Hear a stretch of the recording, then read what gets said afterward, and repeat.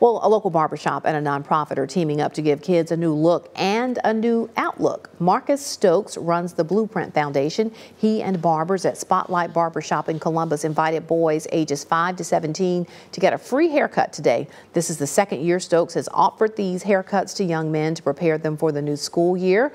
Last year, he offered 50 haircuts. This year, he doubled that amount. He says this event is not only about helping the children look their best, but also be their best.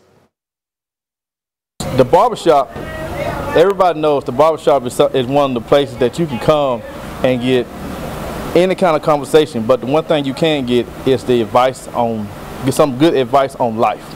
You know, all situations. You got all walks of life that comes in here and gets a haircut. So that is one of the important things that we try to do to get the kids in and talk to them, not about just their haircut, but about their day, about their life, about what they want to do, just overall. This kid in class right there. This is the second year Stokes has offered the free haircuts to young men to prepare them for the return to school. Columbus students go back to class Friday.